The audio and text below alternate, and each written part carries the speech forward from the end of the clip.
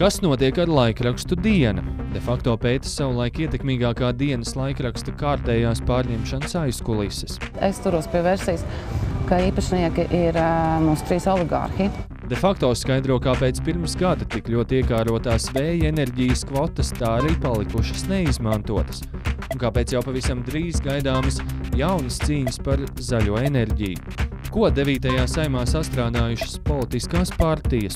Rubrikā 100 krēsli de facto līdz pat vēlēšanām atskatīsies uz skaļākajiem skandāliem, spilgtākajiem citātiem un līdz šim nepelnīti aizmirstām lietām.